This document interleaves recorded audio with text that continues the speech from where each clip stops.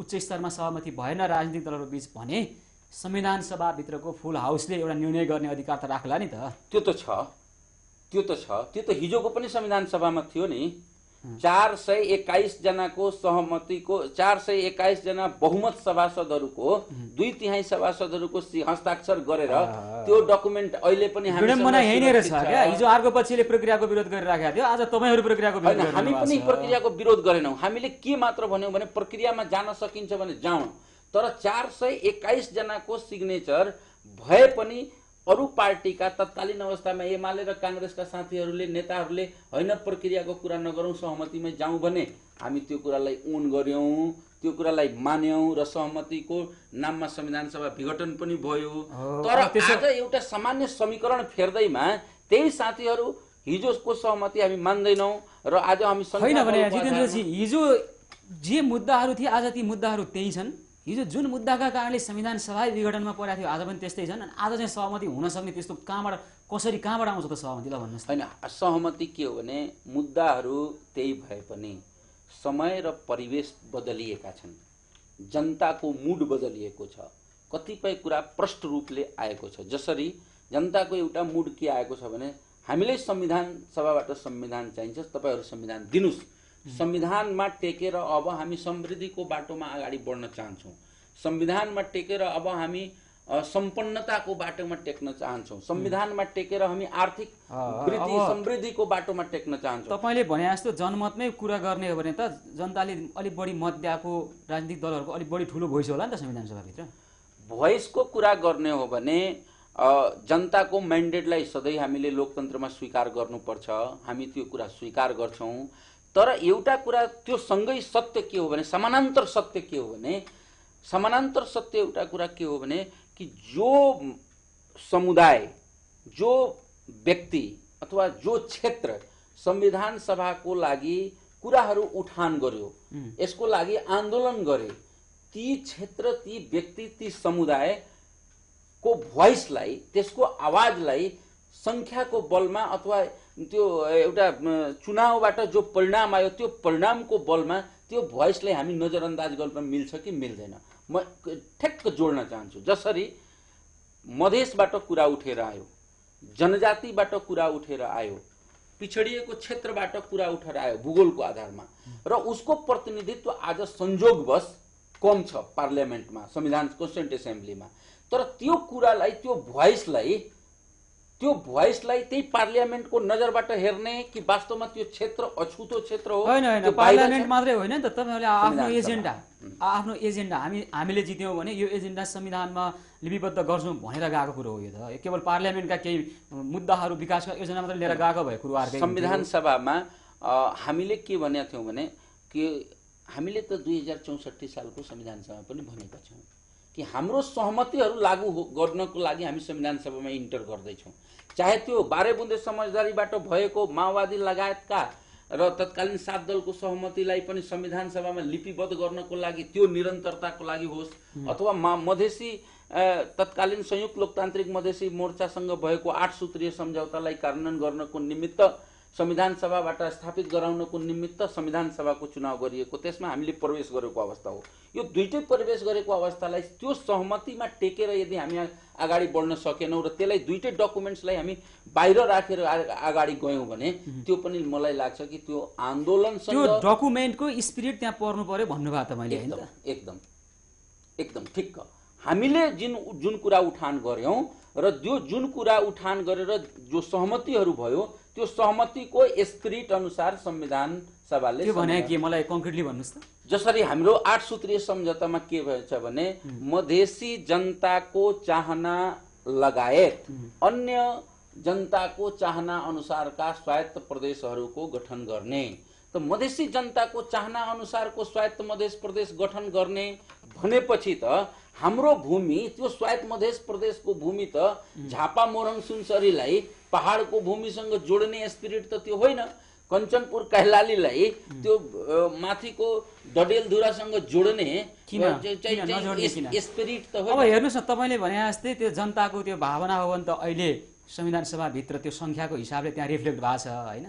उहाँको एक खालको लोकतन्त्रमा जनताको भावना प्रतिनिधित्व गर्ने भनेको संविधान सभा यतिखेर व्यवस्थापिका संसदमा प्रतिनिधित्व गर्नेले त्यो भोइस बोकेका छन् एउटा कुरा। अर्को तपाईँले भने जस्तो पहाड मिलाउन नहुने तराईमा भन्नु तपाईँको भित्री कुरो के भने तराईमा मधेसी मुलका मात्रै बढी सङ्ख्या भयो भने भोलि मुख्यमन्त्री बन्न सजिलो हुन्छ होइन त? सबैलाई रिजाउनु परेन। एउटा जातीय भावनाले पनि क्षेत्रीय भावनाले पनि कहिलेकाहीँ सेन्टिमेन्ट दिएर पनि जित्न सकिन्छ भन्ने तपाईँहरूको भित्री दुराशय त्यो हो जितेन्द्रजी। सुशीलजी फेरि हामी कुराबाट मलाई लाग्छ अलिकति मोडिँदैछौँ। किनभने अहिलेको प्रान्त बन्नु र पहिचानमा टेकेर सम पहिचान प्रान्त बनाउनु भनेको त्यो मुख्यमन्त्रीको लागि प्रान्त होइन नि त त्यो। अब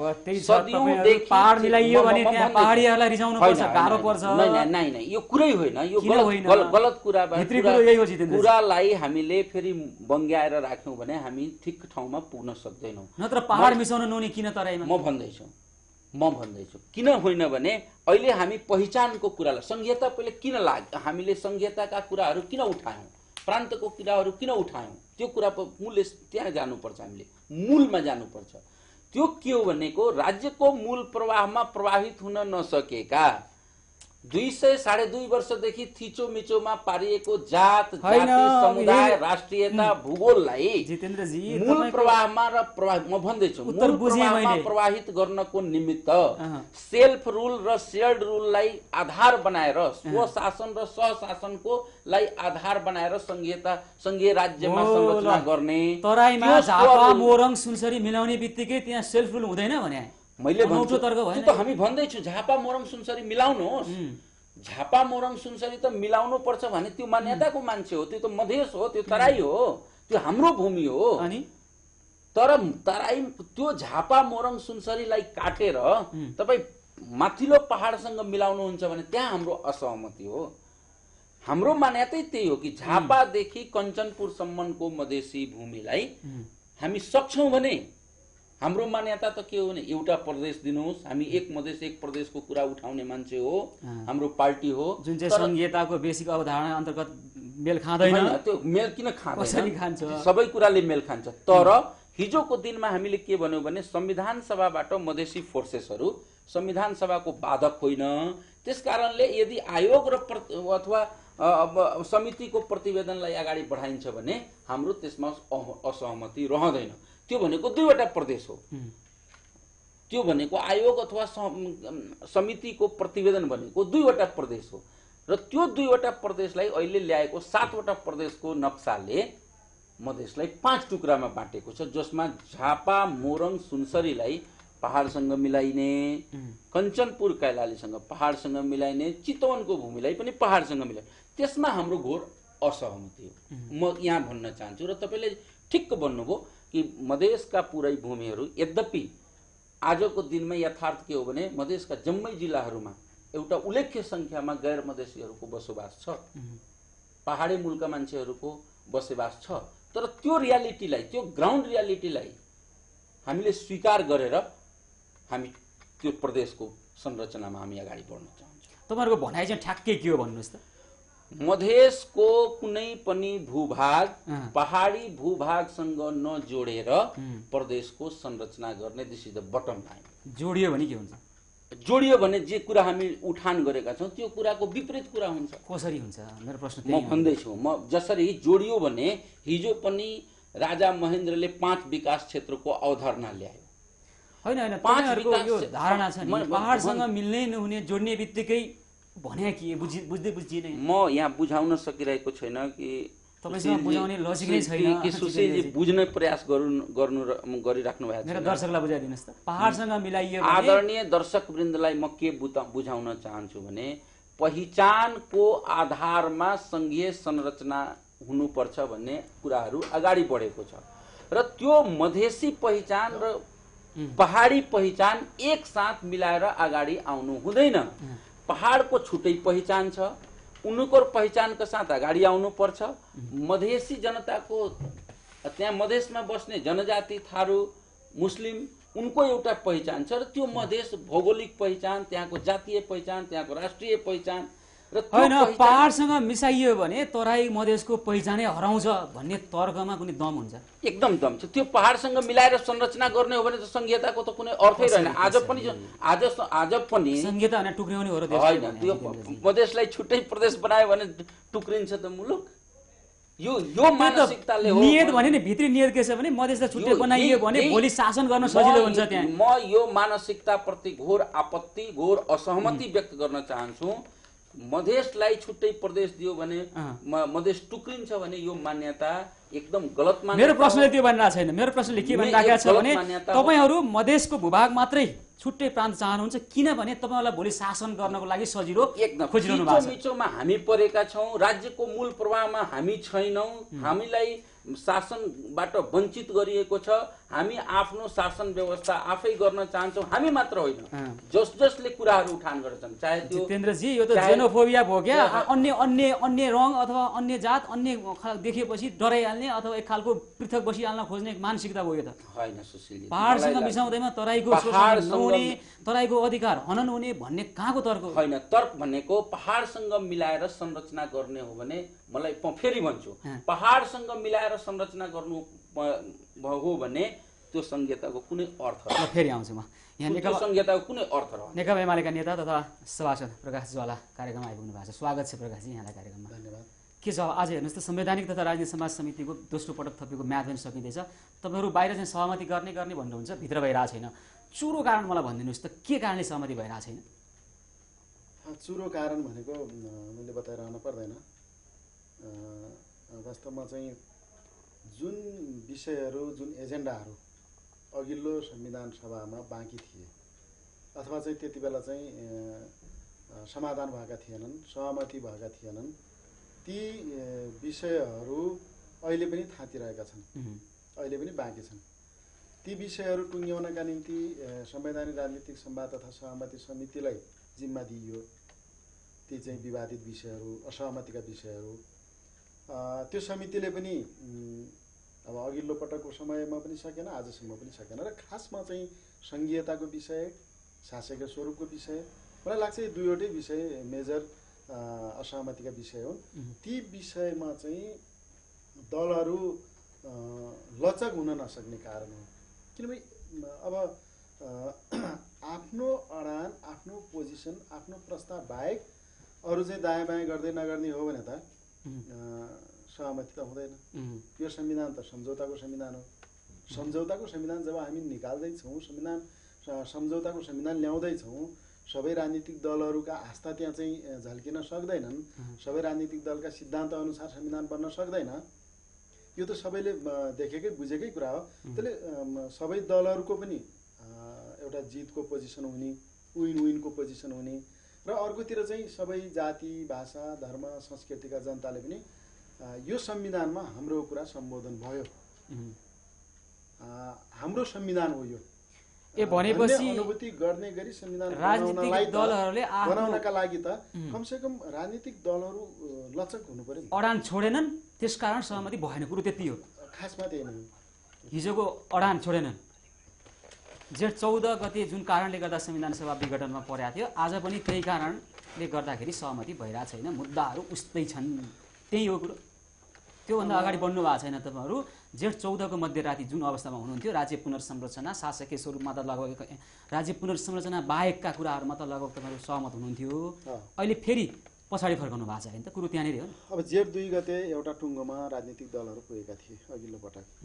त्योभन्दा मलाई पनि लाग्छ- पछाडि फर्काउनु भयो मलाई। लाग्छ त्यति बेलाको सहमति त्यति बेलै कार्यान्वयन भएको भए त अघिल्लो संविधान सभाले नै संविधान दिइसक्थ्यो. तर दुर्भाग्य के भने त्यति बेलाको सहमति कार्यान्वयन भएन संविधान आएन। अनि त्यसपछि सबै राजनीतिक दलहरूको एउटा साझा कमिटमेन्ट के भयो त भन्दाखेरि यसपटक हामीले संविधान बनाउन सकेनौँ तर अब चुनावमा जाउँ नयाँ संविधान सभाको निर्वाचन गरौँ। त्यो नयाँ संविधान सभाबाट हामीले चाहिँ नयाँ संविधान दिनैपर्छ भन्ने जुन कम कमिटमेन्ट सबैको थियो त्यो कुरालाई जनताले एकपटक विश्वास पनि गरे। त्यो विश्वासको आधारमा संविधान सभाको निर्वाचनमा उत्साहका साथ सहभागी पनि भए। तर फेरि पनि तपाईँले भने जस्तै सुशीलजी वास्तवमा चाहिँ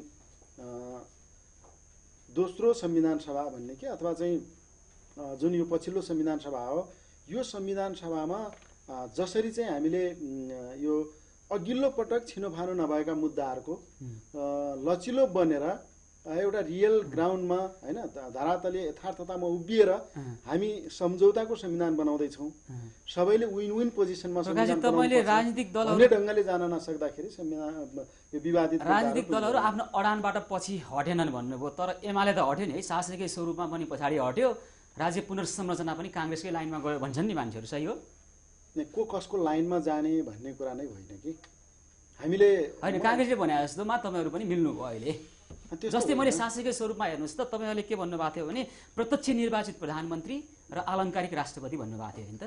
अहिले तपाईँहरूको पोजिसन हेर्दा लगभग काङ्ग्रेसले भने जस्तो सुधारिएको संसदीय व्यवस्थामा पुग्नु भएको छ नि हो नि। अब एउटा कुरा के हो भने यो काङ्ग्रेसको नजिक वा कोही चाहिँ एमालेको नजिक वा कोही मधेस आधारित दलहरूको नजिक वा कोही माओवादीको नजिक भनिरहनै परेन कि। त्यसो नभनौँ तर तपाईँहरू त्यहाँ पुग्नु भयो व्यवस्थापिका एमाले कहाँ पुग्यो भन्ने भन्दा सुधारेको संसदमा पुग्नु भयो होइन पुगेको होइन अहिले त्यस्तो। डाइरेक्ट चाहिँ हामी त्यहाँ पुगेका छैनौँ। हाम्रो आफ्नो पोजिसन हाम्रो आफ्नो चाहिँ निर्णय हाम्रो आफ्नो अडान छँदैछ।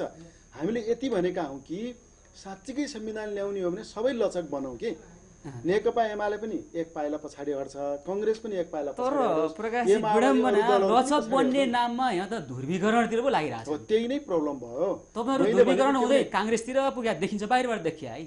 अर्को यताखेर एकीकृत नेकपा माओवादी मधेस केन्द्रित राजनीतिक दल आदिवासी जनजातिका अन्य राजनीतिक दलहरू अहिले एकातिर ध्रुवीकरण भइरहनु भएको छ। होइन उहाँहरू त अहिले आन्दोलनतिर पनि हुनुहुन्छ क्या यो बेठिक हो। यो जुन ध्रुवीकरणतिर जाँदैछौँ हामी गइसक्नु यो भयो अब। गइसकेको स्थिति त होइन त्यो जुन लक्षण देखिँदैछ वास्तवमा चाहिँ फेरि पनि म बडा चाहिँ एउटा गम्भीरताका साथ के भन्न चाहन्छु भने सबै एक एक पाइला पछाडि हट्ने हो भने एक एक कदम पछाडि हट्ने हो भने संविधान बन्छ।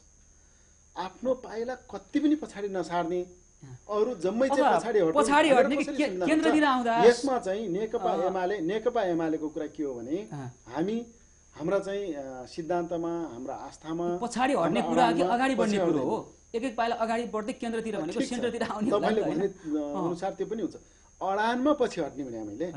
पोजिसनमा जसरी एमाले। हट्यो होइन नेकपा एमाले हट्न तयार। छ केही। पछाडि हट्न लचिलो बन्न तयार छ सुन्नुहोस् न संविधान सभामा कम मत ल्याउने अनि आफ्नो अडानमा टस न मस भएर बस्ने कुरो मिल्छ अनि यो कहाँ हामी भनेका छौँ त? हामी- म त अ, तपाईँसँग तपाईँहरू पहिले- टस मस हुनु भएन भन्नु भएको छ यहाँ प्रकाश हामीले हामीले पहिले नै भनेका छौँ यो सहमतिको संविधान हुन्छ यो सम्झौताको संविधान हुन्छ कुनै पनि एउटा पार्टीको एकै पार्टीको बहुमत छैन संविधान सभामा विभिन्न तर हाम्रो कुरो अरूले मानिदिनुपर्छ होइन? कुरो त्यो हो नि पनि भनेको होइन।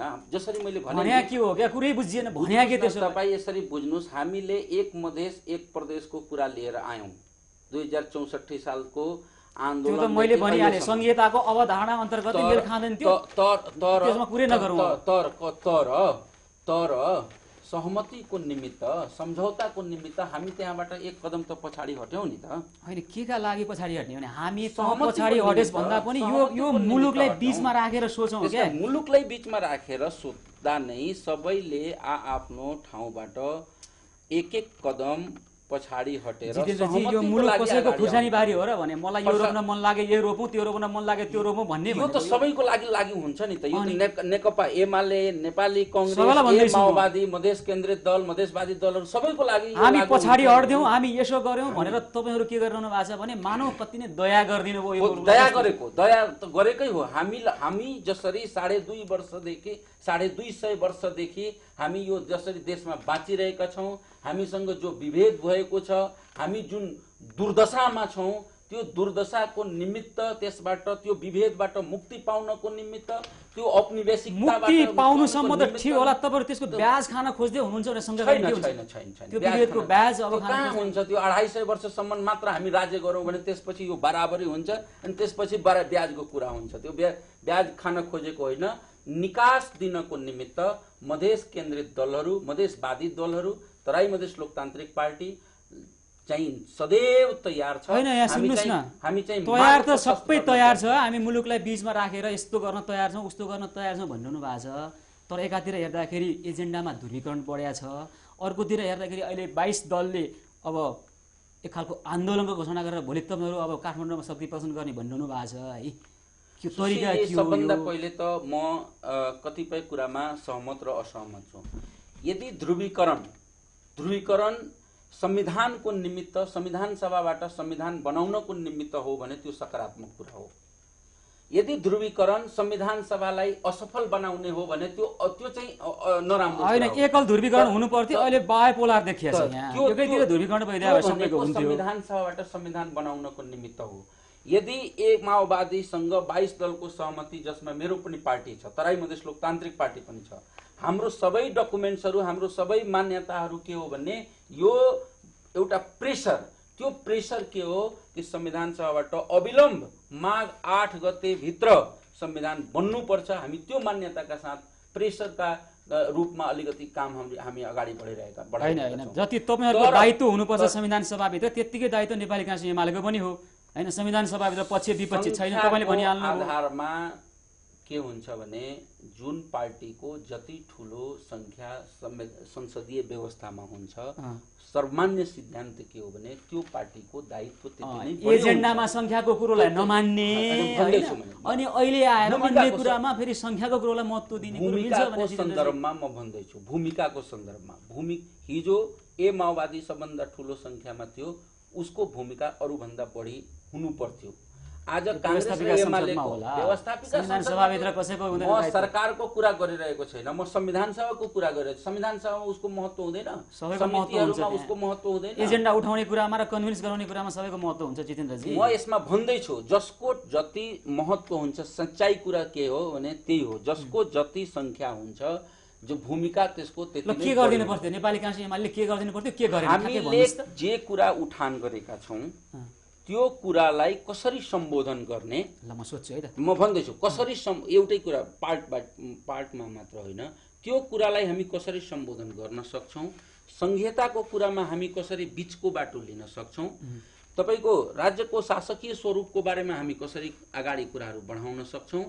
यी दुईवटा कुराहरूमा कुरा मिल्यो र संहितामा पनि मैले फेरि दोहोऱ्याउँछु। यो कुरा सदैव दोहोरिन्छ सदैव जति कुरा गरे पनि हुन्छ सङ्ख्या संहिताको सन्दर्भमा रूपमा पनि संहिता सारमा पनि संहिता। रूपमा संहिता र सारमा कुरूपता दियो भने त्यो संहिताको कुनै अर्थ छैन त्यो कुरालाई हामीलाई मान्य प्रकाशजी। हुँदैन। त्यस कारणले त्यो भन्दैछु रूप र सारको संहिता भनेको के हो भने अधिकारको बाँडफाँड सुनियो सुनिश्चित हुनु पर्यो। अधिक सङ्ख्याको आधारमा एउटा सहमति हुनु पर्यो र मूल कुरा सीमाङ्कन। म नामाङ्कनमा पनि धेरै जोड दिन चाहन्न। तर सीमाङ्कन भनेको सीमाङ्कन- तरा मधेसमा पहाड चाहिँ राख्नै भएन त्यसो गरियो भने फेरि खत्तम भइन्छ भन्ने आशंका छ। त्यही, त्यही हो। नि त। ल प्रकाशजी हेर्नुहोस् त विपक्षीहरूले यो खालको अहिले आन्दोलनै गरिराखेका छन् भनेपछि यतिखेर त तपाईँहरू सत्तापक्षमा हुनुहुन्छ होइन? लोकतन्त्रमा त सत्तापक्षीहरूले विपक्षीको कुरा बुझिदिनु पर्ने सामान्य नीति नियम हो नि। सामान्य एउटा आधार हो नि दुईवटा कुरा भयो क्या। पहिलो कुरा भनेको अँ, सत्ता पक्ष र प्रतिपक्ष जसरी रहन्छन्। अब सत्ता पक्षका कतिपय कुराहरू चित्त नबुझ्दाखेरि या सरकारका चाहिँ कुराहरू चित्त नबुझ्दा सत्ता पक्षको विरुद्धमा होइन आन्दोलन गर्ने भने सरकारले कहिलेकाहीँ चित्त बुझ्दो काम गरेन भने आन्दोलन हुनसक्छ यो एउटा पाटो हो। यो विषयलाई संविधान बनाउने विषयसँग कहीँ कतै कुनै हालतमा पनि जोड्न हुँदैन जसको सम्बन्ध नाता छैन। हामीले चाहिँ जस्तो संविधान सभामा पक्ष प्रतिपक्ष पनि छैन। हामीले त संविधान सभाबाट धेरै छ र त्यो सङ्ख्याले पेल्न लागे भन्ने आशंका गरिरहनु भएको छ। होइन त्यो आशंका गर्ने अधिकार त जसलाई पनि होला तर एउटा कुरा के त। भन्दाखेरि नत्र चाहिँ सहमति गर्ने कुरा किन आउँछ सहमति भनेकै सङ्ख्यालाई वास्ता नगरेको हो। बाह्र बुधे समझदारी वृहत शान्ति सम्झौता हिजो तपाईँहरू सबै मिलेर गरेका विभिन्न सहमतिहरूको आधारमा टेकेर संविधान बनाऊ भन्ने कुनै नाजायज माग हो? ठिक छ त। त्यो त जायज हो। त्यसो हो भने हिजो भएका चाहिँ सम्झौताहरू सहमतिहरू कुनै पनि अवस्थामा कार्यान्वयन हुनुपर्छ। केही दिनसम्म चाहिँ चार बुधे सहमति कार्यान्वयनका सन्दर्भमा चाहिँ संसद अवरुद्ध भयो। उहाँहरूले आन्दोलन गर्नुभयो। त्यसलाई सम्बोधन गरियो। संसद खुल्यो। एउटा ब्रेक थ्रो भयो। अब सहमतिहरू कार्यान्वयन गर्नुपर्छ सम्झौताहरू कार्यान्वयन गर्नुपर्छ त्यसमा कुनै प्रश्न उठाउनै परेन। गर्नै पर्छ। सम्झौता गरेपछि त्यो कार्यान्वयन गर्नुपर्छ। जसले पनि गर्नुपर्छ। त्यो चाहिँ सत्ता पक्ष भन्नेले पनि गर्नुपर्छ प्रतिपक्ष भन्नेले पनि गर्नुपर्छ। त्यो कार्यान्वयन गर्ने दायित्व सबैको हुन्छ। भागिरहनु भएको छ भन्ने आरोप छ नि त जितेन्द्रजीहरूको अ, त्यो आरोपका पछाडि त अब तथ्य हुनु पर्यो होइन। आधार हुनु पर्यो होइन भने यी विषयहरू चाहिँ बल्झाएर होइन संविधान बनाउने जुन कार्यतालिका हो त्यसलाई हामी असर पर्न नदिउँ हेर्नुहोस् एकातिरबाट बाहिर हेर्दाखेरि जितेन्द्रजीहरू लगायत एकीकृत नेकपा माओवादी लगायत तमलोपा लगायत बाइस दल आन्दोलनमा छ उहाँहरू देखिने गरी तर तपाईँहरू कस्तो खालको ध्रुवीकरणमा हुनुहुन्छ भने सबै मिल्ने गरी पो ध्रुवीकरण हुनु पर्थ्यो एउटै ध्रुव बनाउने प्रयास गर्नु सबै मिल्ने गरी। मिल्ने गरी। हामीले भनेका के भनौँ भने यस्तो हुन्छ कि एजेन्डा कसैका अलि नजिक भएपछि त्यो निकटता हुनसक्छ। तर त्यसलाई ध्रुवीकरण भन्न मिल्दैन। अब उहाँहरू त बाइस दलको मोर्चा बनाएर। मोर्चा बनाएरै जानुभएको छ त्यो प्रश्न त उहाँहरूलाई गर्नुहोस्। तर नेपाली होइन छैन। त्यस्तो। नेकपा एमाले र नेपाली काङ्ग्रेसका कतिपय एजेन्डा नजिक होलान्। नेकपा एमाले र ए माओवादीका कतिपय एजेन्डा नजिक होलान्। हामीले भनेको के हो त भन्दाखेरि जस्तो शासकीय स्वरूपको कुरा गर्दाखेरि यति बेला चाहिँ आफ्ना आफ्ना पोजिसनमा उभिँदाखेरि संविधान बन्दैन। हिजो पनि बनेन। अघिल्लो पटक जेठ दुई गते किन हामी त्यो बिचको बाटोमा गयौँ त भन्दाखेरि अघि जितेन्द्रजीले पनि जितेन्द्रजीले पनि भन्नुभयो ब्याक ब्याक होइन होइन। ध्रुवीकरणको लागि होइन र हुनु हुँदैन। भइराखेको छ। जस्तै म एउटा उदाहरण दिन्छु। तपाईँहरूले आफ्नो घोषणापत्रमा के भनेर जानुभयो भने जनतासँग के भनेर जानुभयो भने प्रत्यक्ष प्रधानमन्त्री भनेर जानुभयो। अहिले सहमतिको लागि त्यसैमा ब्याक छौँ त। सहमतिका लागि ब्याग गर्न तयार छौँ हामी। सहमतिका निम्ति बिचको बाटो जस्तो जेठ दुई गते गरिए जस्तै कुनै बिचको सबैको साझा मिलन बिन्दुको विकल्प छ भने हामी मान्न तयार छौँ। जस्तो त्यति बेला चाहिँ राष्ट्रपति प्रत्यक्ष निर्वाचित हुने प्रधानमन्त्री संसदबाट निर्वाचित हुने राष्ट्रपति र प्रधानमन्त्रीलाई चाहिँ यो अ, जो अधिकार बाँडफाँडको कुरा गऱ्यौँ नि त्यो त कसैको एजेन्डा भएन। हो, हामी पनि- राखेको त्यो त्यो प्रस्तावमा प्रत्यक्ष प्रधानमन्त्रीमा ए माओवादी अहिले आइपुगेको छ। जो चाहिँ हिजो प्रत्यक्ष राष्ट्रपति भन्दै थियो होइन? तपाईँहरू त्यहाँबाट पछाडि हटे। होइन हामी पछि हटेकै छैनौँ। यो कुनै हालतमा पनि नेकपा एमालेको आफ्नो जो निर्णय छ त्यसमा हामी स्पष्ट छौँ। हो छौँ। प्रत्यक्ष निर्वाचित प्रधानमन्त्री नै हो। र हामीले भनेको मात्रै के भने त्यसको चाहिँ अनि आफूले चाहिँ तपाईँको व्याख्या गर्न त पाइएन नि त। हामीले सहमतिका लागि हामी लचिलो छौँ भन्ने कुराको अर्थ। जस्तो अर्को एउटा कुरा। मलाई चाहिँ एउटा कुरा के लाग्छ भने यो संविधान भनेको संविधान बनाउनु पऱ्यो क्या पहिले? पहिले संविधान सभाबाट संविधान त बनाऊ। लचिलो भयो। त्यही त? होइन। संविधान होइन होइन? संविधान बनाउनका लागि एजेन्डा मिलाऊ। एजेन्डा मिलाएर संविधान बनाऊ। मैले भन्न खोजेको कुरा के हो भने संविधान संशोधनको पनि त प्रावधान छ। ढुङ्गामा लेखेको अक्षर जस्तो मेट्नै नमिल्ने त होइन हुँदै होइन त्यस्तो। एजेन्डामा सहमति गरौँ। संविधान निर्माण गरौँ। कतै चाहिँ तपाईँको अलिकति पनि तलमाथि भयो भने भोलि चाहिँ सुधार गर्नुपर्ने भयो भने त्यो पनि अप्सन छ एक। अर्को कुरा अघि नामिलेको चाहिँ मूल विषय भनेको सङ्घीयताकै मामला हो कि। सङ्घीयताको सवालमा मेरो एउटै मात्रै कुरा के छ भने सबै राजनीतिक दलहरूले ध्यान दिनुपर्ने बुझ्नुपर्ने चाहे चाहिँ एमाले होला या कङ्ग्रेस होला या ए माओवादी मधेसवादी जुनसुकै दलहरूको निम्ति पनि सङ्घीयताको कुरा जसरी चाहिँ जितेन्द्रजीले अघि सार र रूपको कुरा गर्नुभयो सार अधिकारसहितको सङ्घीयता हो। अधिकार बिनाको सङ्घीयतामा जानुको कुनै अर्थ छैन त्यो त त्यो त। ब्ल्याक एन्ड व्हाइटमा लेख्छौँ नि त हामी संविधानमा। अनि हामीले चाहिँ अहिले डिस्कसन गरिरहेका छौँ के सङ्घ सङ्घलाई कति अधिकार दिने प्रदेशलाई कति अधिकार दिने स्थानीय सरकारको स्ट्याटस के हुने भनेर किन डिस्कसन गरिरहेको त भन्दाखेरि अधिकारको बाँडफाँडको लागि हो। अब मेरो एउटै कुरा के हो भने सारको कुरा गरिरहँदा हामीले चाहिँ जसरी हिजो एउटा मिटिङ पोइन्टमा पुग्यौँ। बहु पहिचान सहितको। त्यसको क्यारेक्टर के हुने त भन्दाखेरि बहु पहिचान बहुजातीय होइन? बहुजातीय भनेर जसरी गऱ्यौँ बहु पहिचानलाई सम्बोधन गऱ्यौँ हामीले। सबैले स्वीकार गऱ्यौँ नि। हो त्यो ठाउँमा अहिले किन नपुग्ने? हिजो तपाईँले ब्याक ब्याक भयो भन्नुभयो नि। हिजोको ठाउँमा पनि हामी पुग्दैनौँ। अर्को कुरा चाहिँ सङ्घीयताको मामला निरूपण गर्दाखेरि दोहोरो मापदण्ड हुन भएन क्या। जस्तो एकछिनलाई यो धेरै इम्पोर्टेन्ट कुरा पनि छ। मधेसका हकमा चाहिँ भूगोलको आधारमा मात्रै चाहिँ सङ्घीयताको टुङ्गो लाउनु पर्ने प्रदेशको टुङ्गो लाउनु पर्ने त्यहाँ पहिचानको कुरा चाहिँ एकदम ओझेलमा पर्ने। सम्बो त्यो कसैले त्यो पहिचानको कुरै नगर्ने। जस्तो मिथिला प्रदेश जितेन्द्रजी मभन्दा धेरै जान्नुहुन्छ किनभने उहाँले त्यहाँ आफै भोग्नु भएको छ। उत्पीडन छन्। उहाँले भनेका अघिका कुरामा म एकदम हन्ड्रेड पर्सेन्ट चाहिँ सहमत छु। उत्पीडन भए उपेक्षा भए मेन स्ट्रिमबाट बाहिर पाखा पारियो मधेसीलाई बहिष्करण पारियो मधेसीलाई पारियो मधेसका दलितलाई अझै धेरै पारियो मधेसका भूमिहीनलाई अझै धेरै उपेक्षा गरियो मधेसका मुस्लिमलाई अझै धेरै चाहिँ उपेक्षा गरियो। अनि दलित पहाडकै पनि दलितहरू उपेक्षामा परे जनजाति उपेक्षा यो जम्मै कुराको सम्बोधन गर्न त नयाँ राज्य संरचना चाहियो गणतन्त्र चाहियो। त्यसैले होइन त्यसैले म यहीँनिर होइन त्यो त नाममा मात्रै हुन नदिउँ न त एमाले साथ दिन्छ नि। मैले भन्न खोजेको दोहोरो मापदण्ड नगरौँ। त मधेसमा चाहिँ भूगोलको आधारमा मात्रै त्यहाँ मिथि मैथिली भाषीहरूको त्यति ठुलो सङ्ख्या छ। मिथिला प्रदेश बनाउन किन हामी आवाज उठाउँदैनौँ। भोजपुरा प्रदेश किन नबनाउनु? पहाडमा जातीय पहिचान मात्रै चाहिने फेरि। फेरि साना साना टुक्रा टुक्रा हुनुपर्ने। अनि यो दोहोरो मापदण्ड हुँदैन। यो सङ्घीयताको चाहिँ जुन हो त्यसलाई लागू गरौँ। कि सबै ठाउँमा? पाँच पहिचान र चार सामर्थ्य सिङ्गो राष्ट्रभरिको निम्ति हुनु पर्यो एक अर्को कुरा चाहिँ जितेन्द्रजीसँग मेरो रिक्वेस्ट के छ भने एकदम हार्दिक अनुरोध के छ भने मधेस चाहिँ पहाडसँग जोडियो भने अथवा मधेस र पहाड जोडिएर एउटै प्रदेश भयो भने हामी बर्बाद पो हुन्छ कि? हामी अत्यन्त ठुलो चाहिँ समस्यामा पर्छौँ कि भनेर। भनेर यो चिन्ता गर्नुपर्ने टेन्सन गर्नुपर्ने विषय हो किनभने यो त हामी नेपालका नागरिक हौँ। नेपाल हो नि मूल रूपमा त। नेपालभित्र हामी हिजो डिस्क्रिमिनेसन भयो हिजो चाहिँ कतिपय समुदाय उपेक्षा परे। है। त्यस कारण चाहिँ हामी एकै ठाउँमा बस्न सक्छौँ। पहाड जोडियो भने भोलि त्यहाँको शासन आफ्नो हातमा लिनको लागि मुख्य गरी सिधै भन्नुपर्दा मुख्यमन्त्री बन्नको लागि पहाडी नै आधारमा नै मिलाउनु पर्ने मधेस बहुमत हुने गरी। ल एकछिनलाई। अँ।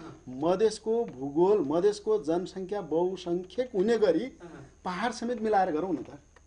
बहुमत हुन्छ नि त त्यसपछि त। एकछिनलाई मैले प्र्याक्टिकल कुरा। मैले प्र्याक्टिकल कुरा मात्रै गरेँ। एउटै। विडम्बना के भने मधेसीसँग हिजो। हिजोको शासन सत्ताले हिजोको शासकीय स्वरूपले हिजोको चाहिँ शासन प्रणालीले हिजोको राज्य सत्ताले जुन दमन गर्यो हामीलाई जुन ढङ्गले भेदभाव गर्यो त्यो अहिले हामी नेपाली जातिको बिचमा त्यो कुरा चाहिँ ल्याएर घुसाउन भएन कि। ने पहाडी चाहिँ मधेसीसँग तर्सिने मधेसी पहाडीसँग तर्सिने भयो भने राष्ट्रिय एकता। कसरी हुन्छ? हाम्रो बिचमा सद्भाव कसरी हुन्छ भने? आशंका के छ भने बाहिर जे जे परिवर्तन भयो नि भित्री सारमा चाहिँ त्यही खालको उत्पीडन त्यही खालको बहिष्कारमा परिने हो कि भन्ने आशंका त्यो आशंका आशंका समाप्त हुने गरी आशंका छिचोलिने गरी आशंका निमोठिने गरी संविधान बनाऊ न। प्रकाशजीको कुरासँग म आंशिक रूपमा असहमति राख्छु। अरू कुरामा सहमति सहमत भए पनि। एउटा कुरा त हामीले फेरि म के भन्न चाहन्छु हामी सबै नेपाल देशका नागरिक हौँ। नेपाल देशभित्र हाम्रो विभिन्न पहिचानहरू छ। ठिक छ? म म को हो? भने मेरो पहिचान भनेको म मधेसी मूलको मधेसी पहिचानको नेपाली नागरिक हो। भने दोहोरो पहिचान भयो नि मेरो। मधेसी पहिचान नेपाली नागरिक। यस्ता धेरै पहिचानहरू छन्। त्यो हामीले एक एकी एकाङ एकीकृत राज्य व्यवस्थाबाट किन हामी सङ्घात्मक राज्य व्यवस्थामा गयौँ भने यो डिस्कसनको लागि अब यो फ्लोरमा कति टाइम ठिक छ एकात्मक म ठिक छ म करेक्सन गरेँ। एकात्मक शासन व्यवस्थाबाट हामी सङ्घात्मक शासन व्यवस्थामा किन गयौँ भने एकात्मक शासन व्यवस्थाले मुलुकको विविधतालाई मुलुकको डाइभर्सिटीलाई सम्बोधन गर्न सकेन।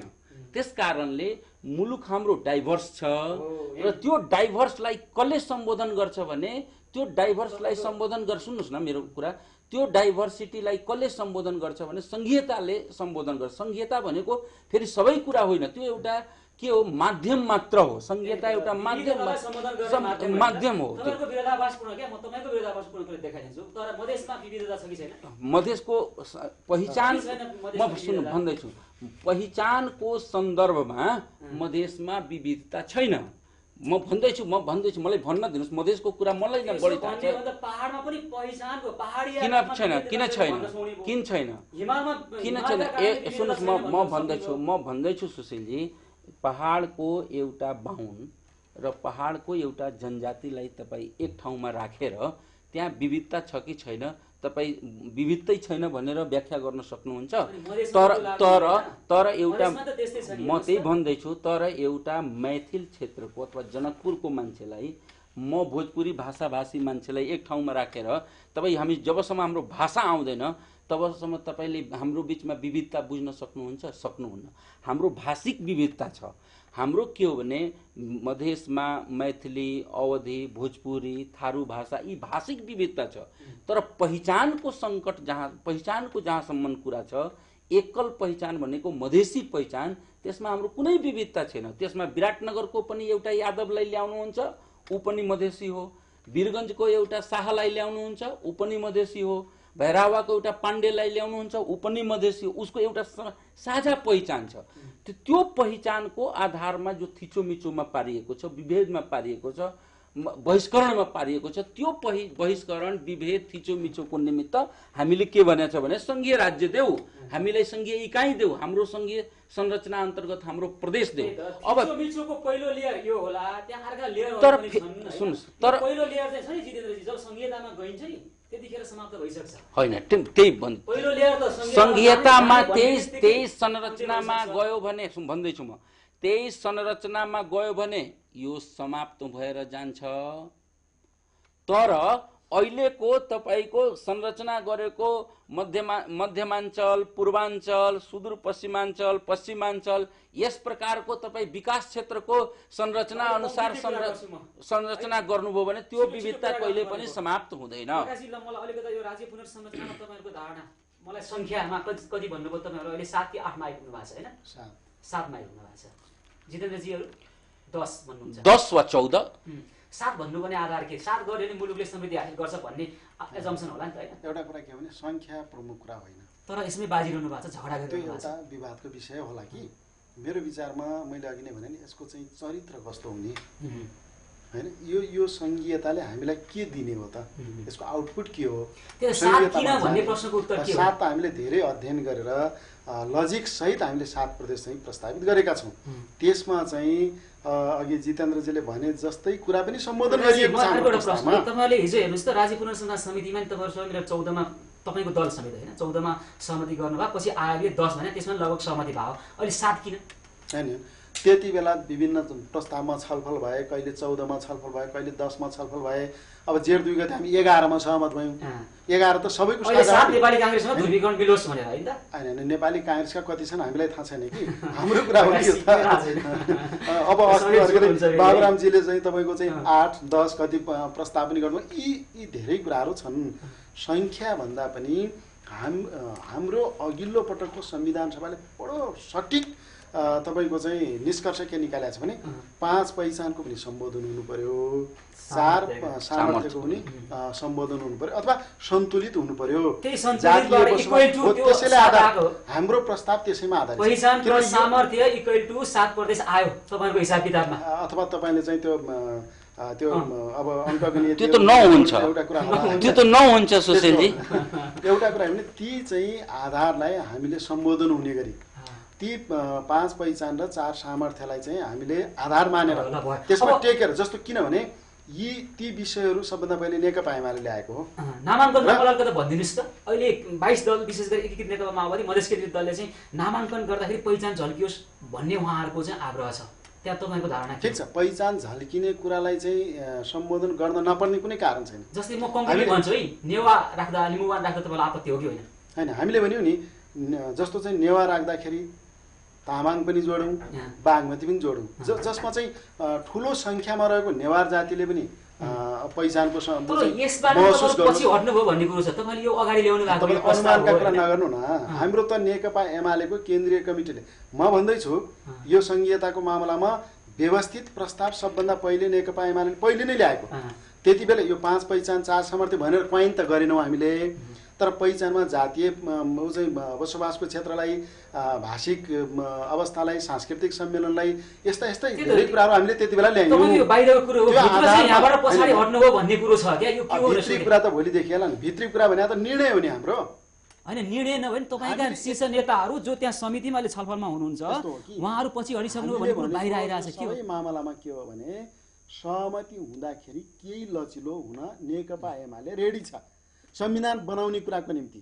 तर हाम्रो निर्णय भनेको सात प्रदेशको जसमा चाहिँ नेवा तामसालिङ बागमती मोडलका चाहिँ नामहरू राखेर हामी जाउँ भनेर हामीले पहिल्यै त्यसमै हो हाम्रो निर्णय। ऊ चाहिँ शासकीय स्वरूपमा हामी त्यही निर्णयमा छौँ र हामीले भनेको के भने हामी मात्रै होइन। हामीसँगै अरू दलहरू पनि आफ्ना चाहिँ प्रस्ताव त आफ्ना आफ्ना छन्। आफ्ना एजेन्डा त आफ्ना आफ्ना छन्। ती एजेन्डामा चाहिँ केही लचिलो हुने गरी केही तपाईँले भने जस्तो पछाडि हट्ने भन्ने होइन भने केही अगाडि बढ्ने गरी होइन? अलि अगाडि बढौँ। हात मिलाउन त पछाडि हटेर मिल्दैन तपाईँमा हात मिलाउनु पर्यो नि दुवै अगाडि बढ्नुपर्छ भने पोजिसनमा पछि। हटौँ। युनिटीको लागि सहमतिको लागि अगाडि बढौँ र हात मिलाएर संविधान बनाऊ। जितेन्द्रजी योभन्दा राम्रो कुरो अब के गरिदिनु पर्यो तपाईँहरूलाई। जे गर्न पनि तयार हामी यसको लागि त सदैव तयार छौँ। हामी आ आफ्नो अडानबाट पहिलेदेखि भनेका छौँ सबैले आ आफ्नो अडान छोडौँ। सहमतिको निमित्त एक कदम अगाडि आउँ संविधान सभाबाट संविधान है, सभाबाट हो। संविधान बनाऊ. यसको निमित्त हामी तयार छौँ तर संविधान सभाबाट संविधान बनाउने सन्दर्भमा सङ्ख्याको बलमा बलमिचाइ गरेर अगाडि नबढौँ खालि हाम्रो यति मात्र विनम्रतापूर्वक आग्रह हो यो बल मिचाइको फोबिया भयो बल तपाईँहरूलाई। मिचाइको फोबिया होइन बल मिचाइको जुन प्रवृत्ति र प्रकृति अगाडि बढेको छ त्यो रियालिटीलाई म भन्दैछु फोबियालाई भनेको होइन। त्यो बल बल-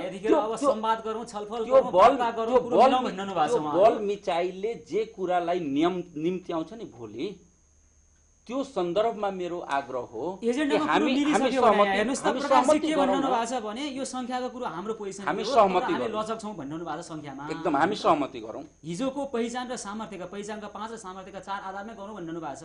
नामाङ्कनमा पहिचान झल्किने पनि सहमत भइसक्नु भएको छ ठिक छ।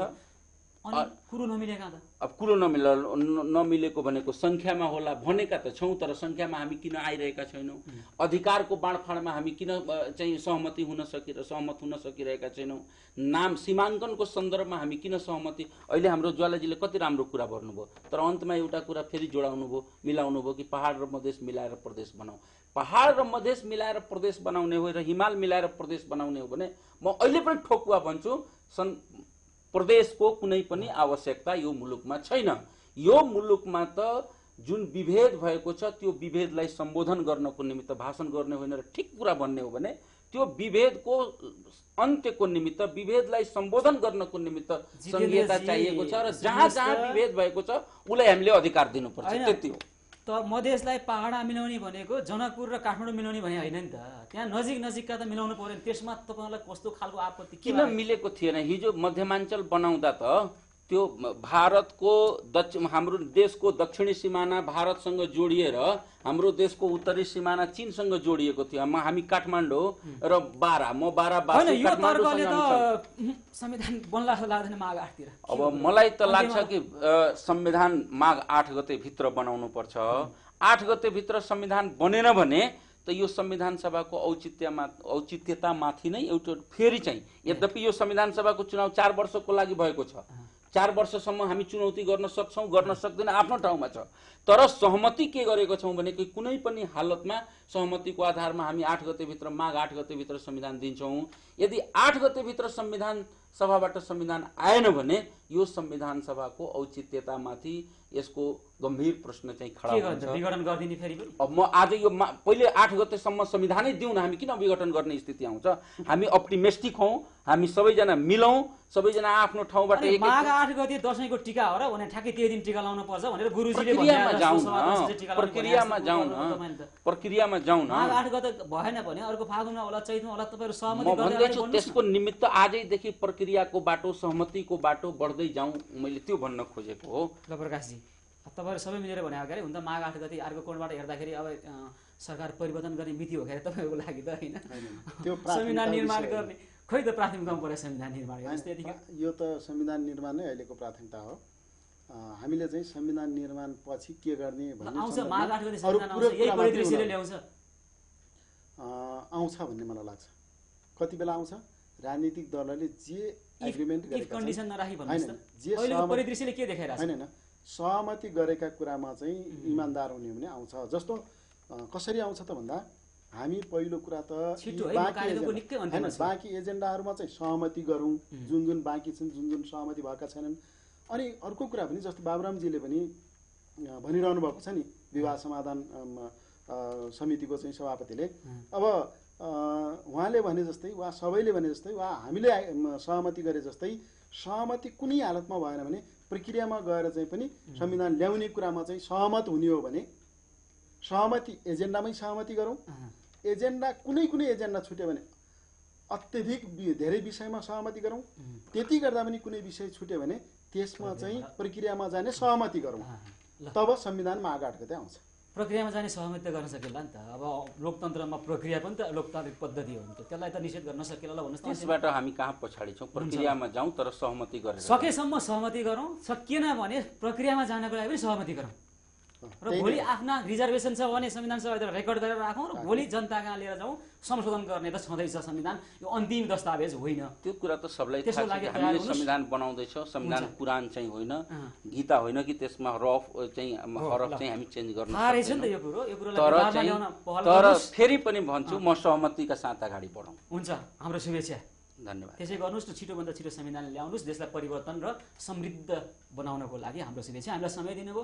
यहाँहरू दुवैजनालाई धेरै धेरै धन्यवाद। ठिक छ। यहाँलाई पनि धन्यवाद। अब दीपावली र छठ लगायतका पर्वहरू पनि आउँदैछन्। हजुर। यी पर्वहरू सँगसँगै संविधानका मुख्य एजेन्डाहरू नटुङ्गिएका एजेन्डाहरू टुङ्गिँदै र संविधान आओस्। शुभकामना दिन चाहन्छु। हुन्छ हाम्रो पनि शुभेच्छा र धेरै छ। दर्शक आज हामीले छलफल गऱ्यौँ तमलोबका सहमहामन्त्री जितेन्द्र सन्डाल र नेकपा एमालेका नेता तथा सभासद प्रकाश ज्वालासँग। आजको कार्यक्रमको समय सकिएको छ। म सुशील पाण्डे लगायत सम्पूर्ण युनिटलाई बिदा दिनुहोस्। हस्त नमस्कार।